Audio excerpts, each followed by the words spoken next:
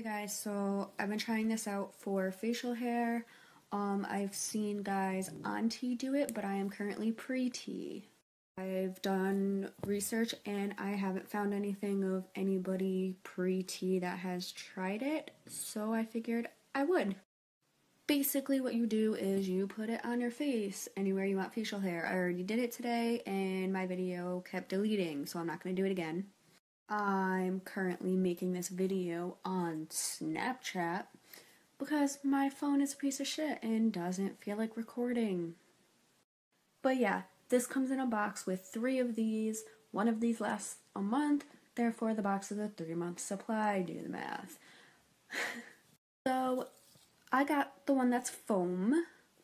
You can also get liquid, but I heard that's very messy and annoying, but it's cheaper.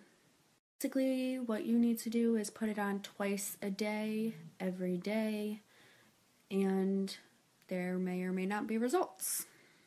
So, I'm gonna do this twice a day, every day, and I'll keep you guys updated on whether it works or not, um, if it's something you guys would be interested in. And I also have an update for you guys regarding my T letter. Oh, my therapist said that we no longer have anything to talk about, so she's ready to write my T letter, and it's only been a month.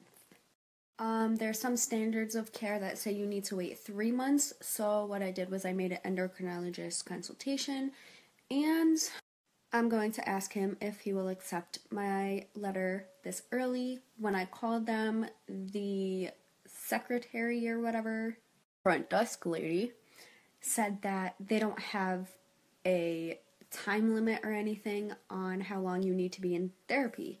So during my consultation on the 17th of this month, I'm going to um, just make sure that's a true statement. And hopefully, I will be on T by April.